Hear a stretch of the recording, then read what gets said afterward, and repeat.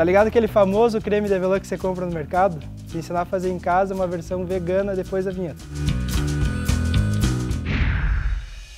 Para tirar a pele da avelã, você tem que assar ela. 180 graus, mais ou menos uns 10 minutos. Você espalha ela numa assadeira. É bem certinho, 180 graus, 10 minutos. Cara, se você sentir que tá tipo muito cheiro, já pode ir lá ver que certeza que ela vai estar tá boa. Vamos tirar aqui, ó. E aí tem um macetinho para tirar a casca da avelã, né? Vamos pegar o pano. E aí você dobra aqui, ó, e só esfrega.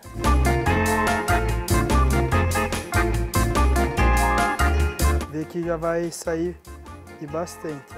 Quanto mais casca você conseguir tirar, melhor. Tiramos a casca das avelãs, ficou bem limpinha. Agora o próximo passo, com a ajuda de um processador, vamos bater ela e vocês vão perceber que você vai bater, ela vai virar uma farinha. Continua batendo, que aí ela vai começar a liberar um, um óleo assim, da própria avelã e vai virar mais uma manteiga.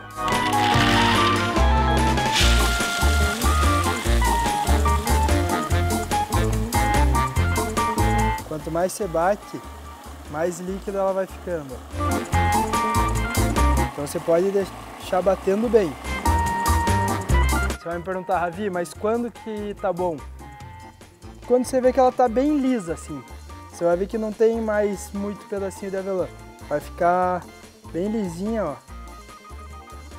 Agora a gente vai entrar com todos os ingredientes e se fosse um creme de avelã normal, entraria com chocolate. Como essa daqui é uma versão vegana, vamos usar cacau em pó, óleo de coco, xarope de agave, extrato de baunilha. E aí eu tenho um leite de coco aqui na manga. Caso eu queira ajustar, se tiver muito espesso, eu deixo um pouquinho mais líquida, mas aí vai do gosto de quem estiver fazendo. Você vai ver que depois que você acrescentar os ingredientes, ele vai voltar a ser mais arenoso assim. Continua batendo.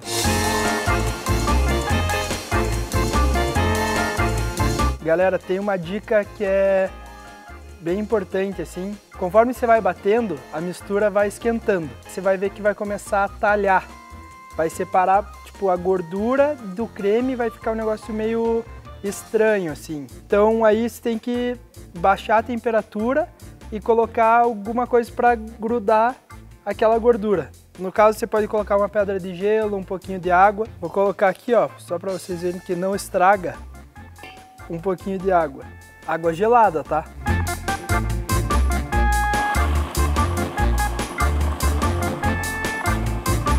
Nosso creme tá pronto.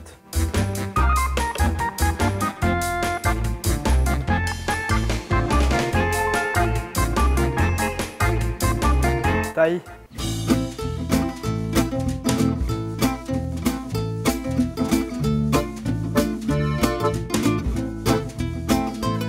Creme de avelã vegano. Se você gostou dessa receita, tem mais um monte aqui, ó, numa playlist só de coisa vegana, vegetariana. Não esquece de se inscrever no canal do Masterchef e deixar aquele like. Valeu!